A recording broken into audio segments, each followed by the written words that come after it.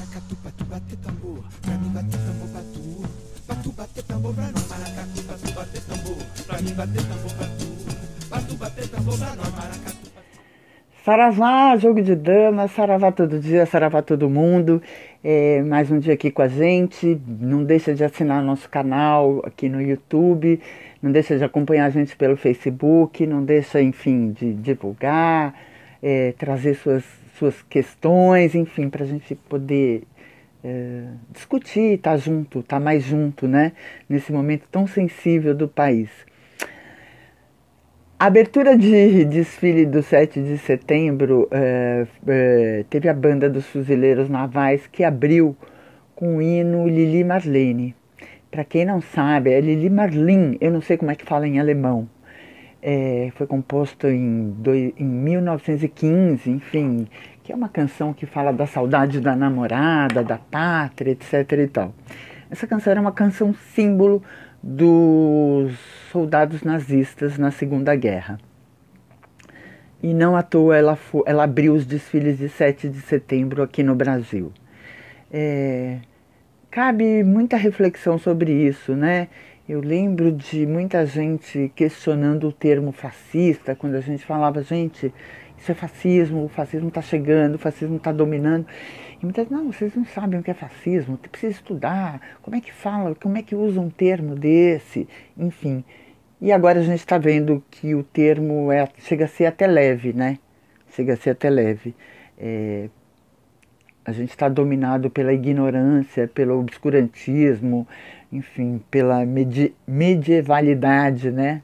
É, de gente ruim, e aí, ah, enfim, o exército né, é, abre os desfiles de uma data considerada importante historicamente, né, o 7 de setembro, o dia da independência, né, na verdade é o dia que um imperador declara a independência, não foi, não foi uma luta do povo, mais uma vez, foi uma, foi uma, uma disputa ali das elites, né, da elite de Portugal com a elite brasileira.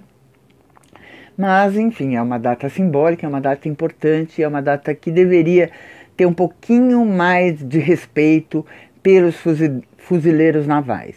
É, não custa nada a gente pesquisar quando a gente vai tocar uma música para abrir um desfile tão importante. Essa música era um hino que sustentava é, a esperança no coração dos soldados nazistas, aqueles que caçavam judeus, que caçavam ciganos, que caçavam gays e que assassinavam, que colocavam essas pessoas né, em campos de concentração para finalidades absolutamente degeneradas, né? Uh, enfim, fica claro que esse governo está completamente sem comando, que os militares estão perdidos, que os militares que seriam guardiões né, da nossa democracia, da Constituição, da nossa soberania, estão reféns de um poder é, bastante obscuro e bastante retrógrado. É preciso que a gente mais uma vez grite, se esper, esperneie, enfim. Ah, mas do que, que adianta a gente vir aqui é, no YouTube, no Facebook? Adianta adianta. Foi assim que a direita é, é, conquistou espaços, né? Foi, foi um golpe muito bem articulado pelas mídias sociais. Então acho que, claro que as coisas mudaram, os tempos são outros, Lula está preso é, como preso político, está preso, não está sequestrado, é um sequestrado político, mas adianta sim é, para quem não tem, não vai para a rua, para quem não tem possibilidade de, enfim, de movimentar os seus deputados e senadores, para quem está decepcionado, inclusive, né, com a classe política, acho que esse aqui é um bom palanque. É, vamos incomodar. Né? Eu sei que hashtag não muda o mundo, mas ela pode incomodar, ela pode comunicar, e comunicação nesse momento é, um, é uma ferramenta importante que nós temos.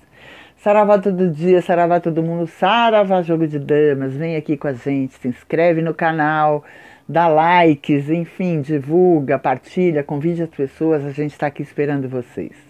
Saravá. É presente, é passado, é futuro céu estrelado.